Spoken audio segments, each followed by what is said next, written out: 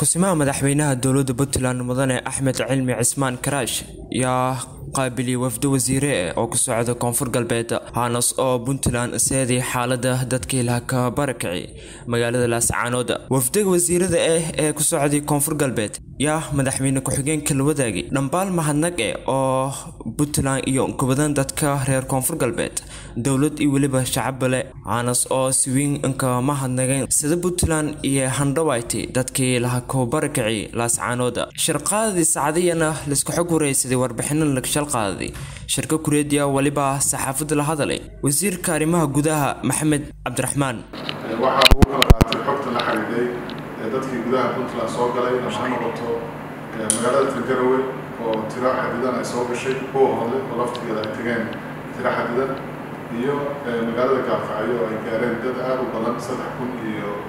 iyo laba boqol iyo soddon qof.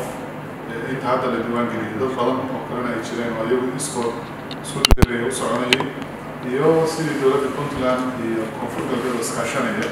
ay dadkaas ugu jawaabeen xaaladooda uga jawaabeen hadday ahaan lahayd dadkii baabuurta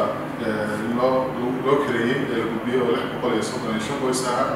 dadkaasoo ilaa hiira hiiraan ee dowladda puntland ay gaadiidka siisay kadibna qaarkood horey u sii gudbeen oo qaarkood ay baydhabo gaareen qaar muqdisho u socdeen qaar jawhar qaar beledweyne u socdeen dadkii haray dowladda puntland sida kumeel gaarka ee aaga maaragtay u meelaysayna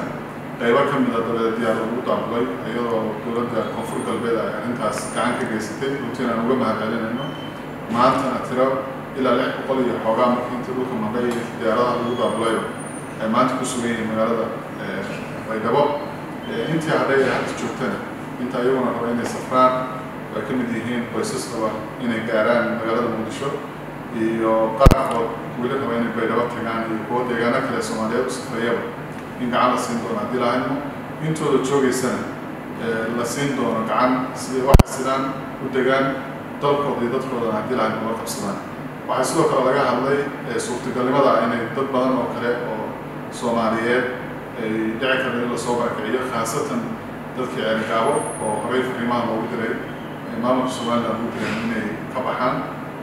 dowladda puntlandna ay waxay diyaar u tahay inay soo dhaweyso dadka soomaaliyeed meel kasta ay cali ibraahim warbaahinta koonfur galbeed soomaaliya baydhabo janaay